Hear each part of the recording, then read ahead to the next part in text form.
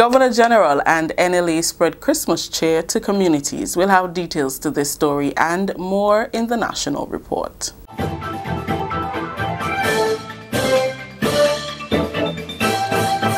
With the details to the news for Tuesday, December 24th, 2019, I am Rikisha St. Louis.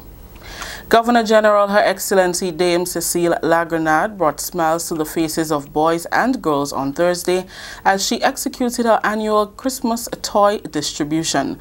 Her Excellency presented gifts to children from St. Paul's and surrounding areas.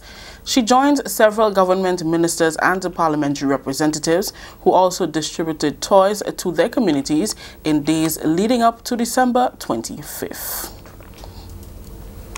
In the spirit of Christmas, the National Lotteries Authority presented hampers and toys to the Queen Elizabeth Home, Mount Gay Hospital, Dorothy Hopkins Home, Bel Air Home, Father Mallaghan Home for Boys, and the Richmond Home.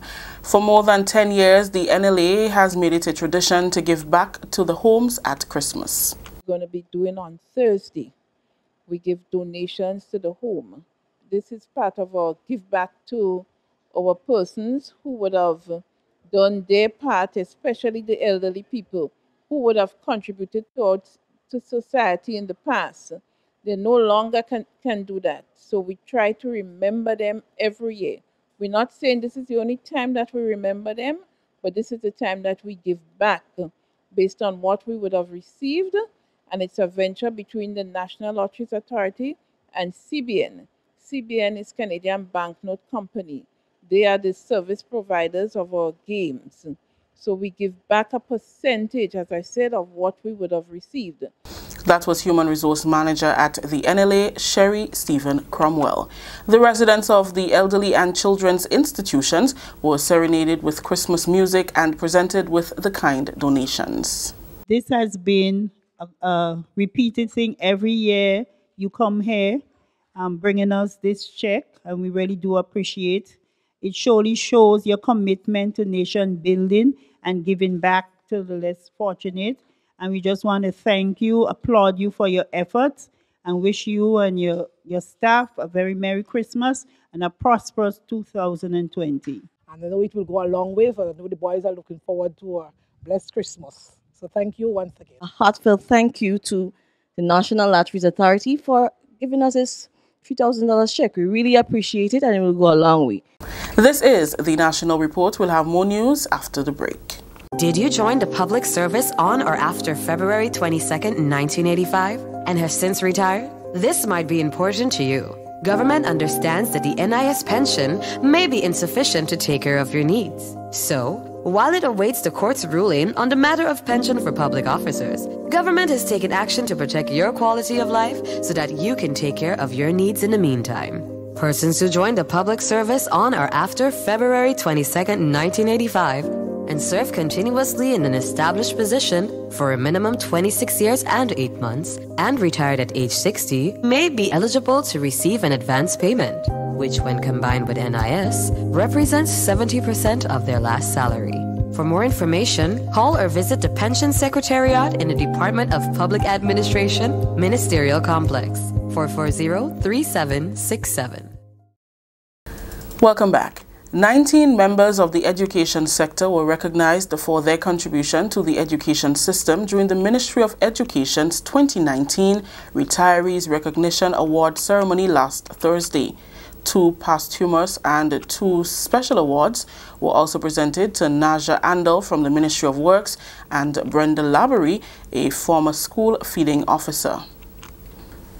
The ministry also bid farewell to 12 members within District 3 during a retirement ceremony. District Coordinator within the Ministry of Education, Kathy and James, commended the retirees and gave the assurance that their legacy will be carried forward as the education sector continues to grow. No amount of money can be paid to you for what you have done, for the service that you have provided to our people in Grenada, Carriacou, and Petite Martinique.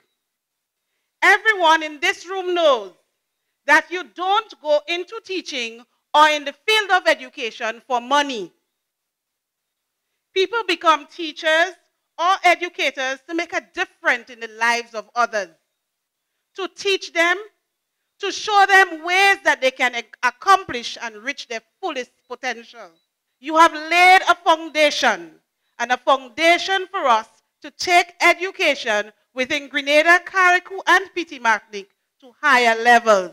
Finally, in the news, the Caribbean Examinations Council will be reviewing its method of operation that caters to the needs of autistic students. This is a direct result of a recent high-profile CXC meeting and award ceremony held in Grenada. We have more in this report from Annette Moore.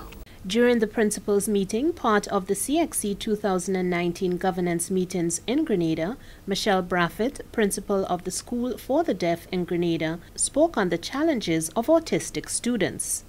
First of all, I would like to commend um, CXC in terms of students who are deaf and more or less accommodating for them. So far, we would have had um, good results. Um, but my concern is for the children who are autistic, brilliant, wired differently. And I do not think that CXC is really accommodating for them. Brilliant students. For example, a student who is autistic, um, for example, in Spanish, can do the orals in terms of content, in terms of facts, and so they can regurgitate everything. They can write everything. But when it comes to a question where they may have to express their emotions, it will be difficult for a student who is autistic. What sort of modification, uh, what system in terms of grading? I'm not talking about doing CCSL, but doing in terms of CXC, because they are brilliant.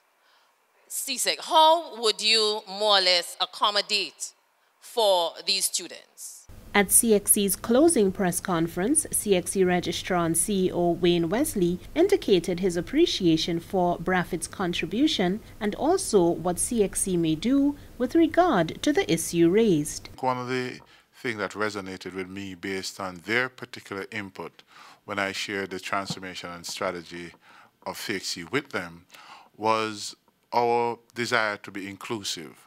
And they actually mentioning that while we would have done a very good job at dealing with persons with disability. We have not necessarily taken into consideration persons with, that are autistic. And so the suggestion for us to begin to investigate how our products can give consideration to persons who are autistic in writing our examination, I think is something that we have taken on, on board to either uh, work through the universities of the region to help determine how can we put forward assessment instruments that can be utilized by persons who are autistic. For the National Report, I'm Annette Moore.